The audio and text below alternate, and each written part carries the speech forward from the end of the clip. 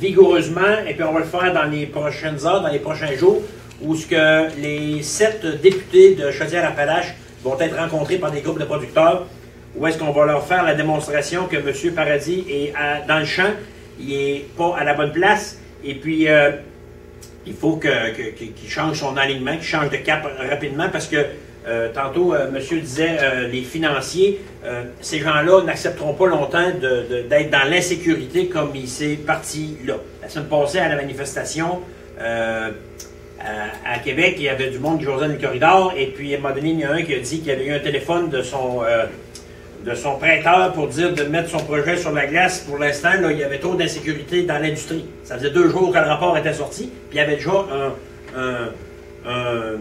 une institution financière qui, avait le chèque. Ça fait que ça veut dire ça que cette industrie-là est en développement, est en croissance. Il faut maintenir cette croissance-là, puis il ne faut pas aller avec les humeurs du ministre qui décide de, faire plaisir à quelques récalcitrants qui, euh, qui pleurnichent euh, régulièrement euh, dans les médias.